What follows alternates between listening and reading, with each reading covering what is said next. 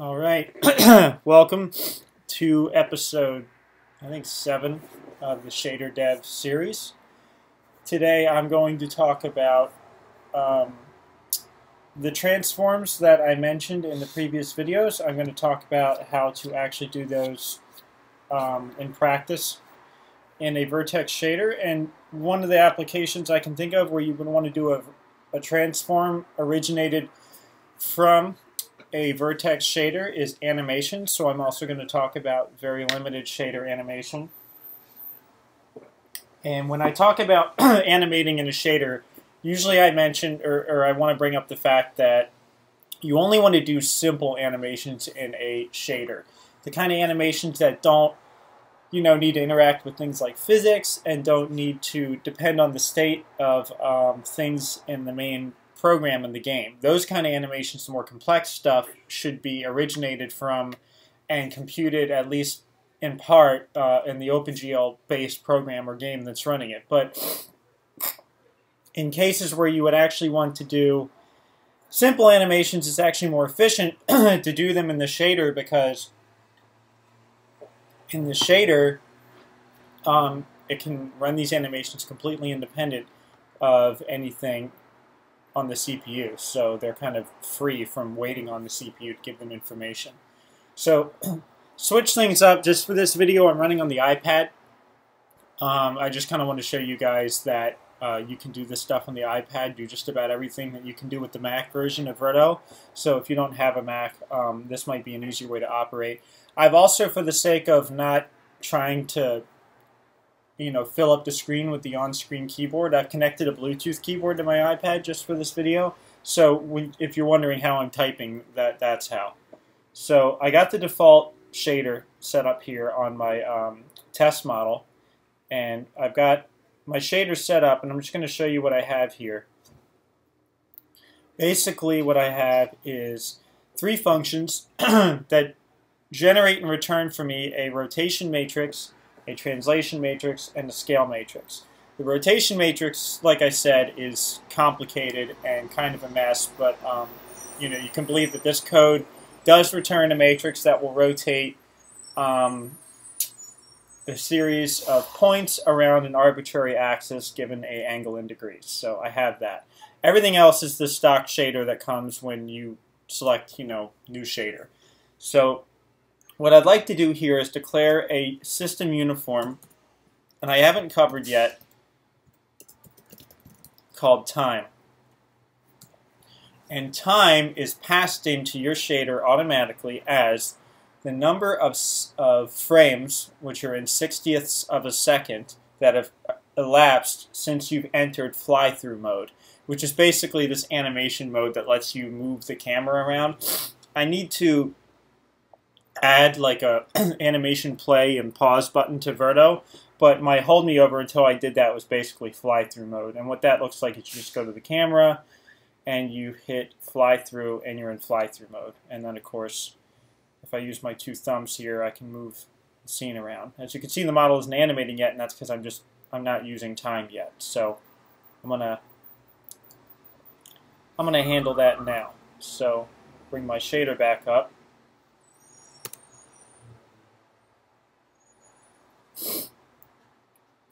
Okay. So time to use time. um, what I'd like to do here is inside my main function, of course I have a position that comes in from the input to the shader. And what I'm going to do is I'm going to declare uh, vec3, vec4. I'm going to declare a vec4 copy of it called post. And I'm going to actually transform that instead of the base position. Now, when I take position, I can transform it using one of these matrix routines and essentially transform the model from its original object space or model space position on the fly. So what that might look like is if I create a mat4 called trans and set that equal to translation matrix and I just say that I want to translate um, 10 units in the x direction, and I apply that to posts, I should see my model move the x-axis to the right. It moves very slightly, so maybe if I were to take this and move it 100, you can see that it does move. Now what if I was to want to animate this? And that's where things get interesting. Well, if I wanted to, I could do something like 10 times time. And now once I do this, doesn't like GLSL is a very tight um, strict language. You can't put 10 and expect it to know you want to float. You have to put 10.0. So now when I run through fly through, you can see the models animating. And of course, this is all done entirely in the vertex shader, which is really neat. Um, if I want to do something kind of more interesting, and I want the model to, um, oops, and I want the model to not animate off the screen, but maybe reset every so often, I can do this little trick. So maybe I'll create here dx. Keep trying to use my mouse on my trackpad, and I keep forgetting I'm on an iPad here. Um, just going to put, put dx in here. Swear, whenever I start these videos, like my throat goes dry. It's like on cue. All right. Now, if I would like to, say, repeat this animation every so often, what I can do is I can use this special routine called fmod. And what this does is it does a, a floating point modulo. So basically what, what it can do is it could say every 600, just start over. I think I did this right. I haven't done fmod in a while. Doesn't seem to like that. It might just be mod. I get my C and GLSL confused quite a bit. Yep, it's just mod. It's Fmod and C. So now let me run this again. There it goes. It starts over every so often. An ugly animation, but it at least shows off a concept like this. More interesting would be if I wanted it to wave back and forth, I could use a sine wave. So what this would be is the sine of time This is in radians, so I need to make this pretty small. I usually do like 0, 0, 1. And then I take the sine and I multiply that by 600. And what this will do is make it wave back and forth or oscillate depending on... I knew I always get my parens screwed up. I don't need this last one. So this is a cool little effect. See how much nicer that is, as opposed to it suddenly jarring. And if I were to affect the um, period, I think that's right, or multiply in the time domain, um, make it go quicker by just removing one of those zeros. So now instead of multiplying time by 0.01, I'm multiplying it by 0.1, and of course it'll oscillate much quicker. So we could take this and expand upon it. Translation's neat, but what if I wanted to pulsate the scale? Well, this will actually probably make the thing look really cool. Um, so what I'm going to do is I'm going to take dx, and I'm basically just going to call this scale now. And a 600 is way too drastic for a scale. So what I actually would probably rather have this do is basically use 1.0 as a base scale, and then have it go between negative 0.1 and positive 0.1.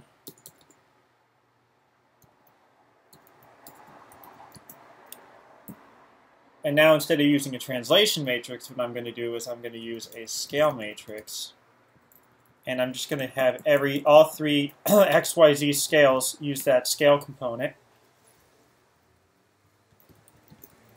And I'm going to now transform by the scale matrix. Now when I run this, it pulsates. That's really cool looking. So imagine if you had like, I don't know, like an alien egg or something in a game and you wanted to make it look like it was about to hatch. You could do something crazy like that. And the cool part is you're basically doing game development entirely from your 3D studio. Um, you know, you could just kind of insert this shader code in, um, you know, assuming it's it's using the right uniform names in any other production system, and you have a really neat shader that you just kind of created your effect, you know, straight up in shader code. Um, rotation, you know, is uh, also an interesting concept. So suppose I wanted to make this thing rotate while it was pulsating. I'm going to compose the two transformations into one. Uh, and the way I'm going to do that is I'm going to not apply post until it's ready.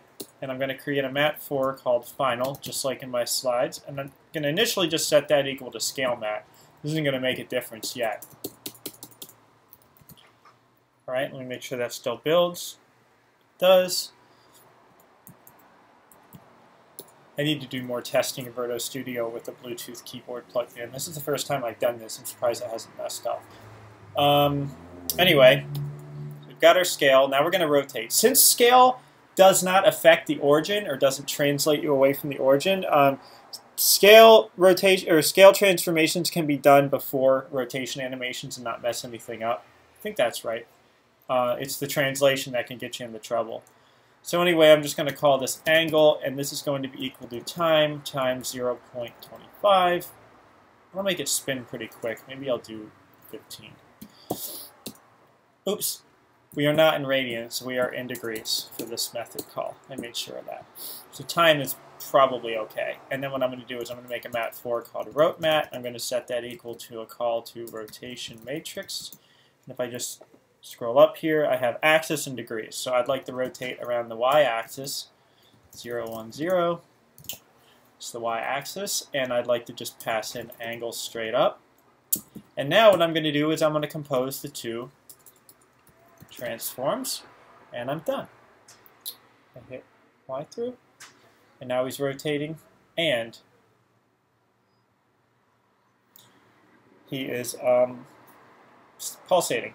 Now you'll notice the light doesn't seem to work anymore. As a matter of fact, the shader's programmed right now so no matter how you look at the surface, the light is always striking it dead on. The default, um, that's what the default shader does. It assumes the light, it's not using the light in Verto, kind of like I showed you in that very first GLSL hands-on video. It's, it's assuming the light's only shining right on the surface. Why is that not working when I animate? And that's because I'm only transforming the posts.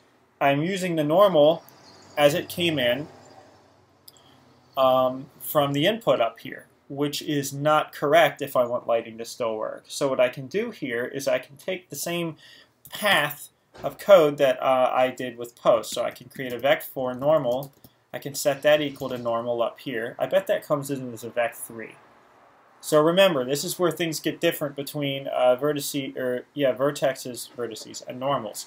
Um, I need the last component here to not be 1 as it was for the position, but 0. Um, that's important because when I transform this, it it's not going to make too much sense here, but if I was translating, it would screw the normal up. But it won't if I set the last component to 0. Now all I need to do is take normal. It's an object space transform, so I'd like to do it before the normal matrix is applied, just like I'm doing the uh, transformation of position before the model view projection is being applied. And just to recap, the normal matrix does the exact same thing as model view projection matrix with the special exception that it does not screw up um, the normal when non-uniform scales are applied. It makes sure that the normal still works. Otherwise, you could probably just do the same transform. It's just a common thing in shaderland to use a separate normal matrix to transform the normal. Anyway, um, I digress. So what I'm going to do is I'm going to set normal. I think I screwed something up here. I did. Uh, I can't name this normal because I already have a normal. I'll just do norm. Oh god, if I hit eject on the keyboard, the old school iOS keyboard comes up. Which just happens to be right next to the backspace key, which is kind of funny, if you ask me. Norm equals the same exact thing. Now I transform, oh shit, if I do wrong thing, problems will happen. Now I transform normal. Yeah, there was an error and I didn't see it. Let me fix that. It's got some kind of problem. Oh, I know what the problem is. Um, it expects this to be an XYZ, which is fine. Just swizzle there. Now the lighting should hold up. Even though it pulsates. And it does. So that's a cool little animation example. Um, so to show you that you can do more things with time besides this, we're just going to shove this over here, and we're going to add essentially a piece of terrain. Um, I'm, I don't know what kind of images I have, so I'd rather not show you guys my image library while recording. So we're just going to use random to start out with. So here's some terrain. I always like to smooth it out when I um, add some. So there's some basic terrain. It's not that nice looking, but whatever. You can generate terrain from an image too, and it'll look a little more presentable. So suppose I want this to not be terrain anymore, but maybe be some kind of really like cheap ocean effect.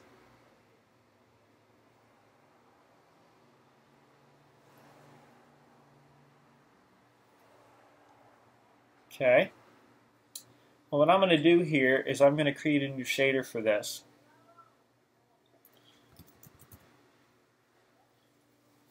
Now, of course, some of my lighting went away, but if I just go to my template loader and I load full to start with, I got the full lighting that uses the first light, which is what I want here. So that's all crazy stuff being done in the fragment shader. It's basically the Phong model again with some special extra caveats for uh, double-sided lighting. Or maybe not, I'm not sure. Um, but the vertex shader still remains pretty simple. So what I'd like to do here is something kind of interesting. Well, there's a couple things, and I haven't really covered this too much yet, um, and I don't, I'm going to get into this next video, but there are texture coordinates in UV space that are applied to every single point on the surface, and they're basically a 2D way to tell me where I am in this grid of the sea of vertices here, which is a lot. So I'd like to get that information and pass that into my vertex shader, and the way I'm going to do that is I'm basically going to set a texture for this. Any old texture will do, because I'm not actually going to use it, but it'll turn on the texture coordinates, which I need. Now, when I pull up my shader, I'm going to use these texture coordinates, which are my UVs. It's already been defined here as TexCoord 0, and that has two components, x, y, or s and t, which tell me basically where I am along the um, the axes going across uh, and, and in both directions of this. Another way to look at it is if I pull up the TexCoord editor, this is the space that the um, that the uh, UV coordinates are defined in. I will explain UV and texture mapping for actual texture mapping in the next video. But for now, what I'd like to do is basically oscillate individual vertices up and down independently of one another. So what I'm going to do is the same old post copy here, vec4 post equals position, and that's the one I'm going to use down here. Make sure it still builds. And now, translation is one of those things where you don't have to use a matrix to do if it's simple and that's what I plan on doing here. Basically, I'm going to say post.y equals position.y plus some sine wave of time, which I haven't declared yet.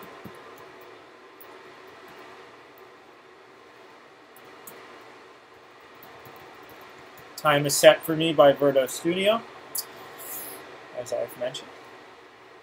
I also think I mentioned that as long as you use highp, medium P, and lowp when necessary, um, shaders that you write on the Mac, if you save them in a scene document and open them on the iPad version of Verto, they'll run all the same. So the shader code I'm writing here will run on Mac and vice versa, assuming you don't do anything that's desktop only, um, like OpenGL only that won't run on OpenGL, ES. Um, anyway, I'd like this. This might be enough. Oh, no, no, no, it won't. What's going to happen here is I've done the same effect to everything, so it's just going to oscillate the whole ocean up and down at once.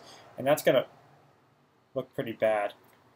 Um, as you can see also, the effect is not nearly pronounced enough. So what I'm going to do is I'm going to raise the amplitude of the waviness just by multiplying this sine by something higher up, probably like 25. Point zero, shut up. Okay. That's too much. and the, the period, I guess, is too long as well. So um, that can be solved by upping this by 10, and this can be solved by making this go down to like 10.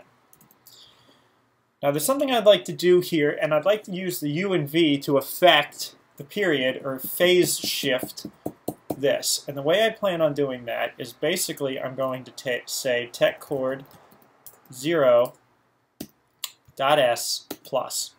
This is going to change things quite a bit here, and check this out. Fly through. See what I've done? Now, the um, the points move up and down, but not all at once.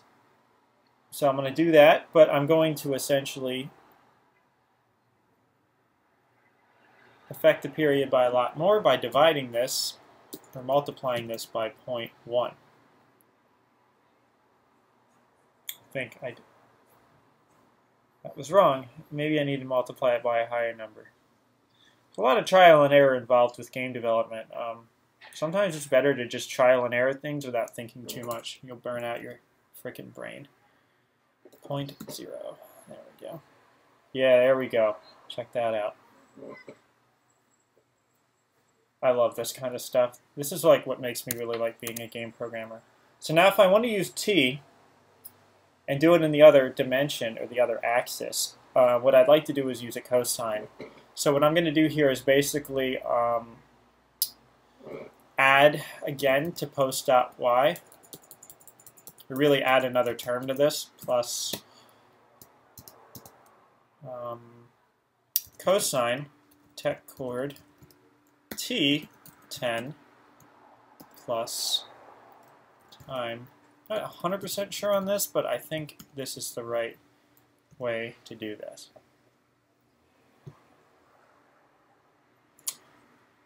I use TexCoord 0 in case the time where I ever add support for more than one set of TexCoords in Verto. This is going to look insane. Get ready.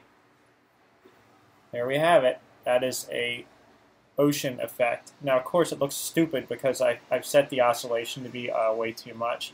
So I'm just going to down the amplitude here, and that should, that should be enough for this to not look so bad. And what I'd actually love to do is parameterize the amplitude as something I can pass in as a shader argument. So what I'm going to do is just call this amplitude, and that was 10, but now everywhere I see 10. And I could really parameterize all this if I wanted to make this something I could ship with a game um, and pass to somebody who doesn't know shader programming but knows how to do 3D modeling. I could just give this to my artist, and my artist could just go right here and not have to worry about this and just key in the value, which is basically what you want to do when you're developing a production shader. Uh, 2.5. 3.5 is just a very slight effect, but if you look at it from the side, it looks really cool. Um, I'm excited. We're happy about uh, my animations, and that is saved with my scene. I mean, if I load this up on the Mac, all right, so I got AirDrop going. I'm receiving my Verto file from my iPad, and I'm going to open it up, and we're going to see what happens. I would laugh if it crashed. Uh, I'm just going to close that. It's one of my other scenes for game I'm working on. So there's my scene, and if I go to View, fly-through mode, or more easily Control Command F. There it is. It's my animations. I produced this file on an iPad, and now I'm running it on a desktop. So there you have it, guys. That's basic animation and shaders. Um, I hope you enjoyed it. New episode will come someday. Goodbye.